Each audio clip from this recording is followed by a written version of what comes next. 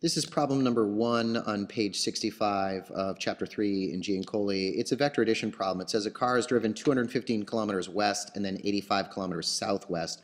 What is the displacement of the car uh, from the point of origin? And they specify magnitude and direction, and they want you to draw a diagram. Um, you should recognize this as a vector addition problem. Uh, there are two vectors uh, that are in question or, or, or part of the problem. One is 215 kilometers west. So I'm going to call that vector A. I'm going to say that that one is 215 kilometers.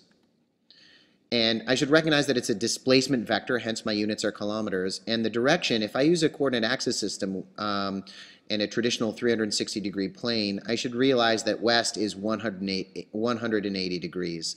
Uh, I could use west if I wanted to. I'm just, in this particular problem, going to use um, uh, 360 degrees. Vector B, on the other hand, is uh, the displacement vector that occurs afterwards, and that's the 85 kilometers southwest.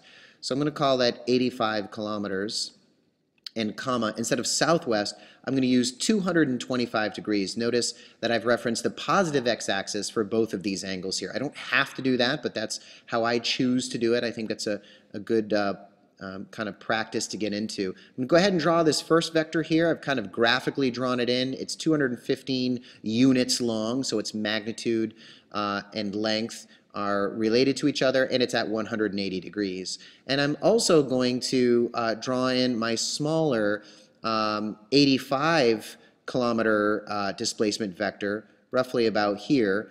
And I should recognize that the goal here is to add these two vectors.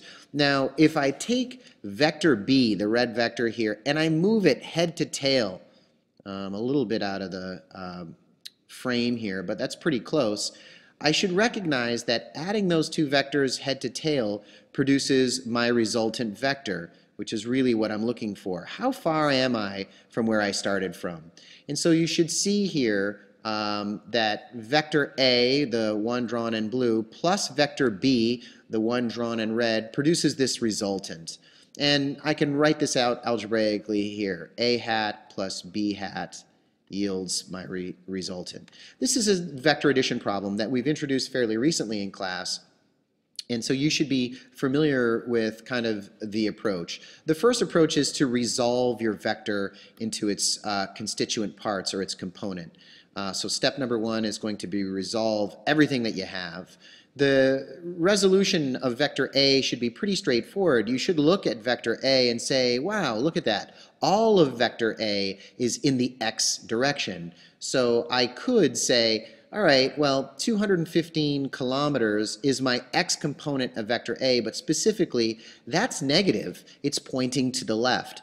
Or if I wanted to apply my uh, traditional equation for resolving the x component, I could say that ax is equal to a cosine theta, where theta is 180 degrees. The cosine of 180 is negative 1, so I end up getting 215 times the cosine of negative 1, which is going to yield negative 215 anyway. Uh, kind of in a, in a similar vein, the y component of vector A uh, is going to be zero kilometers. None of that vector is going up and down. And if, again, if I wanted to use my traditional um, trigonometric relationship, I could say that the y component is a times the sine of theta. And so therefore I'd plug in 215 times the sine of 180, which is zero, yielding zero. Part B is a little bit tougher because um, we should recognize that B has both horizontal and vertical components. So I'll start with the horizontal component and I'm going to say that B cosine theta is equal to the x component. Uh, when I plug that into my calculator, I end up getting 60.1 kilometers. But specifically, if I had plugged in 225 degrees, my calculator is going to recognize that since it's a third quadrant vector, the x component should be negative. You should be recognizing that yourself, even before you plug that into the calculator, that this x component will be pointing to the left. Likewise, the y component can be found by multiplying b times the sine of the angle theta. And even before I plug that into my calculator, I should recognize that it's going to be negative. Since this is ultimately 45 degrees down and to the left, I should see that the y and the x components will have the same magnitudes, 60.1. So I have magnitudes uh, for ax and ay and bx and by, which leads me uh, to part two of the problem. Part two of the problem is going to be to find the components of your resultant. So I can say that the x component of my resultant is going to be uh, ax plus bx, and the y component of my resultant is going to be ay plus by. Uh, recognizing that ax is 215, uh, but it's negative 215, and bx is negative 60, uh, I get something on the order of 275.1 negative 275.1 kilometers being the x component of my resultant. My y component is a bit easier, again here, because the y component of um, vector A is 0, the y component of vector B is 60.1, so therefore the y component of my resultant is negative 60.1 kilometers. I've finished the first two parts of the problem. In this next part of the problem, I need to figure out what to do with the components. I have Rx and Ry now. And uh, in order to make this easy, I'm just going to remove the other two vectors here because I'm no longer interested in them. I have the green resultant vector. I know it's going to be in the third quadrant. I have the components Rx, which points to the left, and I have the Ry component, which is small. It's only 60.1 and it points downward. I should also recognize that the x component of the vector here and the y component can be thought of as a right triangle. I can arrange it this way, seeing that the head to tail of the x and the y components gives me my resultant, that solid green vector, or I can arrange it uh, the other way, keep the x component where it was and move the y component uh, there to the end of it. So now I have a right triangle uh, that references the x-axis. This is the one here that I'm going to use. So I'm going to continue the problem and I'm going to find the magnitude of my resultant, recognizing that this is the actual resultant, this is the x component, and here this is the y component, that small uh, y piece pointing downward. I have a right triangle. Here's my angle theta that I'll eventually be looking for. I should recognize that I can use the Pythagorean theorem where r is the hypotenuse. c squared is equal to b squared plus a squared, where b and a uh, are the um, y and x components. So I can say ry squared plus rx squared. Solving for the magnitude of my resultant, another way of describing the magnitude of your resultant is to put the vector in absolute value bars. In other words, the answer to this is simply going to be how big the resultant is, but it's not going to answer the question, what is the direction?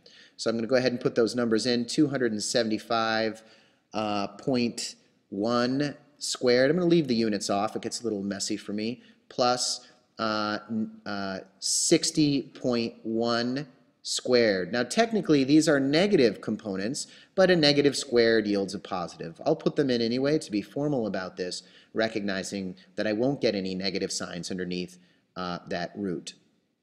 Okay, so uh, finally the magnitude of my resultant once I throw that into my calculator uh, ends up being 281.6 kilometers. So that's how far away from home I am.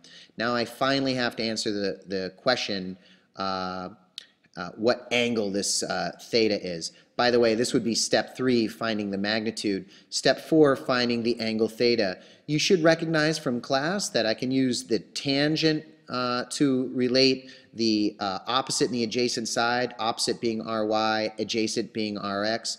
I'll write that in this form, tan is equal to opposite over adjacent, or in physics terms, ry over rx. Taking the inverse tangent of both sides, I get theta is equal to inverse tan ry over rx. And when I plug these numbers into my calculator, ry being negative 60.1, dividing it by negative 275.1, uh, I end up getting uh, 12 degrees. You should, however, recognize that this 12 degree resultant that you've just calculated here is in quadrant number one, uh, which is actually not true. The, the negative over the negative here, you've got a negative over a negative, and so therefore uh, both the x and the y pieces uh, end up the, the ratio of the y over the x ends up being positive since these negatives cancel out, and your calculator is not sure whether it's a first or a third quadrant vector, you need to then recognize that it's not 12 degrees, but it's 180 degrees plus 12 degrees. So our actual angle here, theta, will be 180 plus 12, or 192 degrees. Our final answer, basically answering the, both, the question of both magnitude and direction. Here's our magnitude, 281.6 kilometers, and our direction being 192 degrees. So I would write that as uh, my final answer being 280 kilometers, comma, uh, 190 degrees, dealing with significance.